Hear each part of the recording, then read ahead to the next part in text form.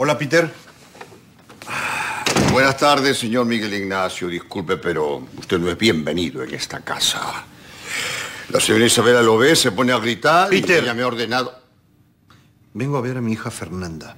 Pero la señora Isabela me ha ordenado que no lo deje. Peter. Tengo que hablar con ella. No puedo vivir tranquilo con ella odiándome.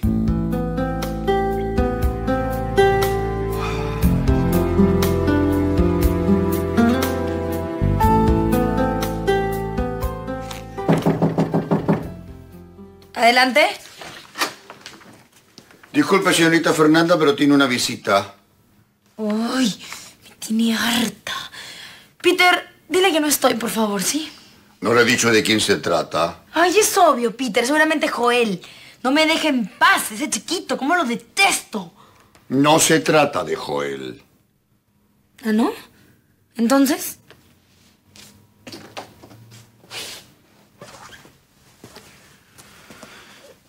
Hija, soy yo.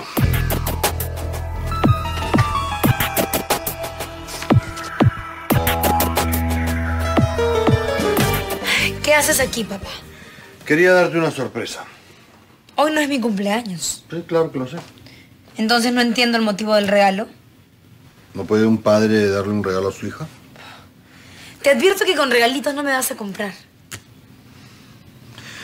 Bueno, lo dejo ahí por si te animas a abrirlo. Llévatelo porque no lo pienso abrir.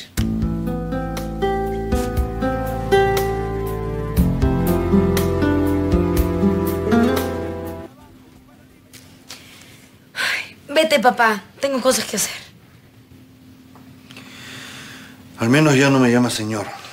Si no te vas de mi cuarto, lo voy a volver a hacer. Está bien, ya me voy. Pero antes... Quiero invitarte a cenar esta noche en mi restaurante. Estoy haciendo una fiesta por el éxito de mi local. Me está yendo bastante bien y quiero que mis hijos sean parte de esto. Hoy es imposible. Tengo muchas cosas que hacer, papá. Hija, para mí es importante que vayas. Nicolás ya aceptó. Nicolás acepta que tengas a una empleada de novia. Yo no. Además, como te dije, tengo planes. No va a ser más de una hora, te prometo. Papá, ¿tú no entiendes castellano? No, no voy a ir. Bueno, tal vez hoy no puedas, pero quizás el sábado podemos salir los tres juntos al lugar que tú elijas. Chao, papá.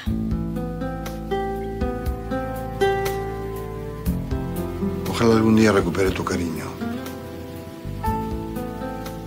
Es lo único que quiero.